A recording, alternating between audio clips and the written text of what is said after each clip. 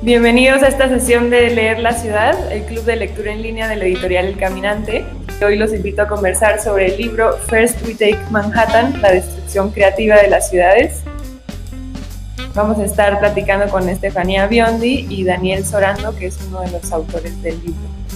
Santa Marina Juanicua, líbrame del desplazamiento, del desalojo, del incremento de renta, del mal inmobiliario, sálvame de la gentrificación personas que tienen que desplazarse de barrios simplemente porque son o no son valorados por el mercado.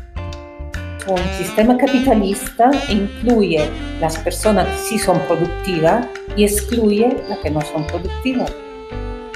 Y esto no quiere decir que no tenga que haber espacio para el mercado en una sociedad. Lo que pasa es que ahora mismo ocupan demasiado espacio.